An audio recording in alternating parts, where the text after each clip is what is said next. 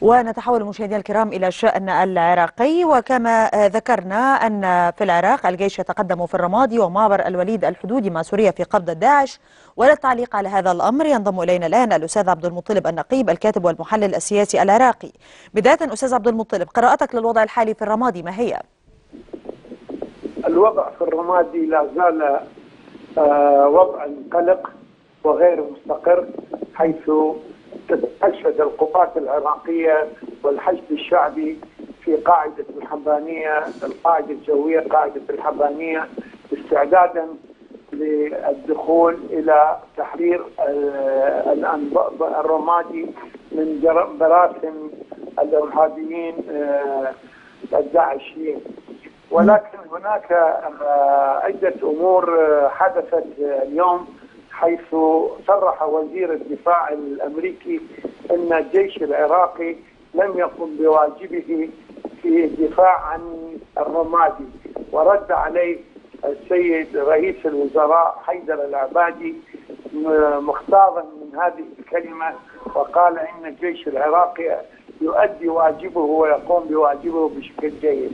هذه تعتبر مسلما في العلاقات العراقية الأمريكية ولكن نحن نعرف أن الولايات المتحدة هي سبب كل هذه المشاكل التي يحدث في العراق وخاصة امتناعها عن التسليح الجيد للقوات العراقية نعم. فالقطاعات العراقية الآن مع الحزب الشعبي مع العشائر جاهزة للتقدم وخاصة تقدمت واخذت جزء من الصينية وهي تطوق بعض الأجزاء من الرمادي وإن شاء الله خلال الفترة القادمة سوف إن استطاعت أن تدخل الرمادي ستنهي هذه المشكلة.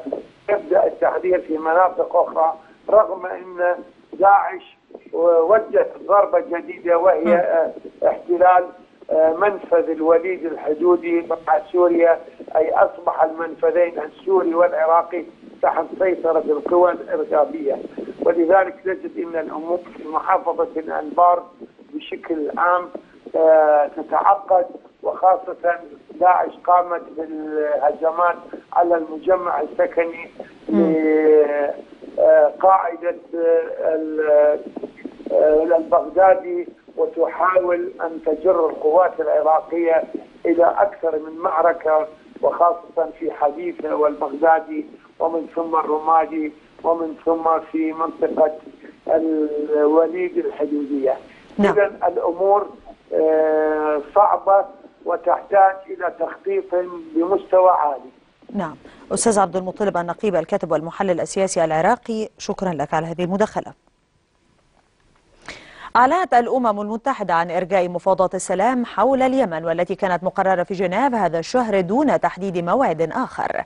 يأتي هذا بعدما أكد الرئيس اليمني عبد رب منصور هادي أن الحكومة لن تشارك في مؤتمر جنيف ما لم يمتثل الحوثيون لقرار مجلس الأمن والقاضي بانسحابهم من المدن التي سيطروا عليها.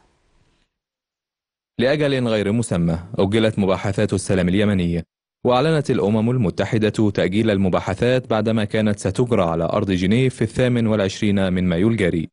قرار ربما جاء كاستجابة لطلب تقدم به الرئيس اليمني عبد رب منصور هادي لا مشاورات قبل ضمانات.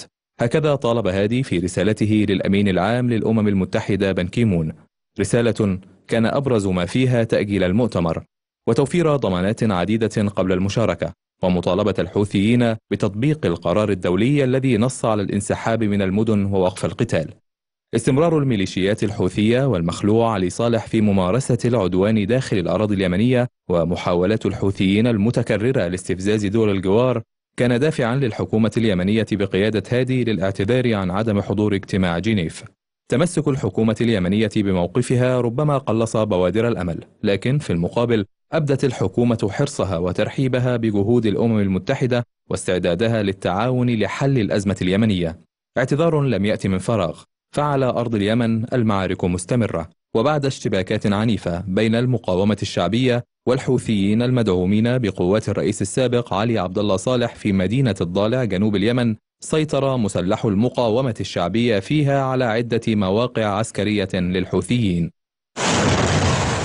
وخلال معارك أشبه بقتال شوارع خلفت وراءها قتلى من الجانبين سقطت بعض المواقع من بينها الخزان والجرباء ومعسكر الأمن العام بيد مسلح المقاومة الشعبية. غانمين العديد من الأسلحة نجح في الاستيلاء على الآليات والعربات العسكرية. بين قتال نهايته مؤجلة ومفاوضات مرجئة ينتظر اليمن المصير. حكمت المحكمة المركزية في مدينة القدس اليوم على رئيس الوزراء الإسرائيلي السابق إيهود أولمرت بالسجن لثمانية أشهر وذلك لقبوله لأموال على نحو غير قانوني من داعم أمريكي. أدين أولمرت في مارس الماضي في إعادة محاكمته ويأتي الحكم ليضاف إلى حكم بالسجن لست سنوات صدر في العام الماضي في قضية رشوة أدين بها. كان أولمرت قد تولى رئاسة الحكومة بين 2006 و2009 وأجبر على الاستقالة في مطلع 2009 بسبب اتهامات بالفساد.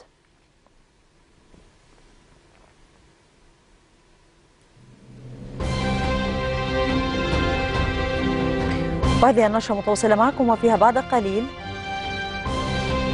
الموجة الحارة مستمرة طوال الأسبوع وذروتها غدا وبعد غد.